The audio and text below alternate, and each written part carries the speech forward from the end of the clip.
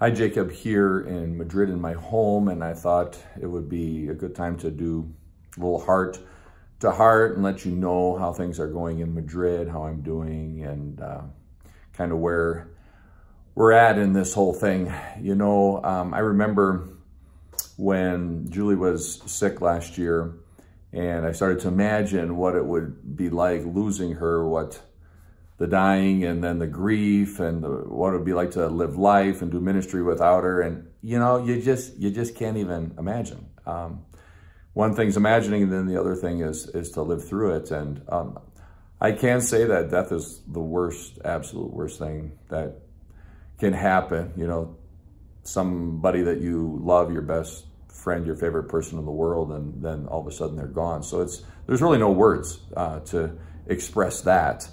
Um, and in some ways, these last months have been more difficult than the first months. And so there's like no book you can read that says it's going to be like this. And, and so even the grieving process, I, I can't even, I don't know. I really don't know. Now, now what I can't, what I do know, and that's what I kind of want to share with you, what I do know is something I read about in, um, I was re rereading in Second Corinthians chapter 4. And it so expresses, you know how sometimes you read the scripture and you go, oh, that's a great verse. But until you live it, it doesn't really come alive. And so this one's really come alive to me in 2 Corinthians chapter 4. Um, it says that um, we are afflicted in every way, but not crushed. And it's exactly what I feel. You know, feel like the affliction is definitely there, but I am not crushed and uh, perplexed, but not driven to despair. And that's the truth. You know, I am not driven to despair, uh, struck down, but not destroyed. And the death does strike you in so many ways, but it doesn't destroy you. It's amazing how the grace of God just picks you up and carries you. Uh, and that you can't even put into words. And so it's just one of those beautiful things that um, in the midst of all the, and, and he says, why do all these hard times happen? And he says that through the, the breaking and the crushing and the trial, he says that the life of God might be manifest through you in a greater way. And I thought, well, I am going through that process of affliction and crushing. And, and God's goal in this, one of his goals is that his life would be able to, his aroma would be able to shine through me in a greater way. And he says, uh, verse 16, so we do not lose heart. And I'll tell you, you know, it's really easy to lose heart. Um, there's a lot of gray in the in, in my life. And there's sometimes there's black. And then the sunshine breaks through and then it's gray again and then it's black. And it's just like, my goodness, you know, you just want to lose heart.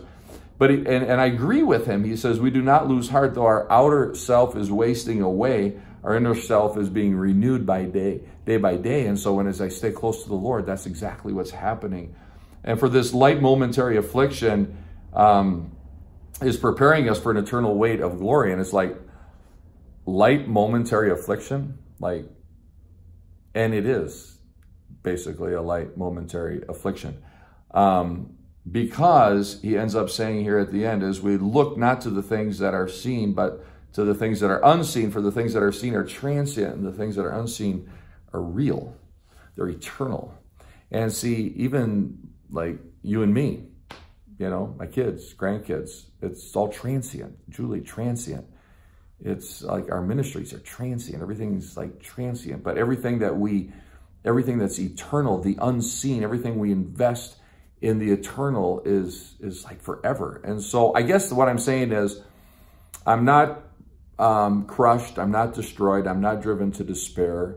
Um, God is wanting his life to shine through me and that the biggest lesson I'm learning in these last months is to keep my eyes fixed on the eternal. And as I do, then this light momentary affliction, it, it just seems lighter. And so those are my words of encouragement. Um, I'm doing okay. Uh, God is carrying me and I uh, wanted to leave you with those thoughts.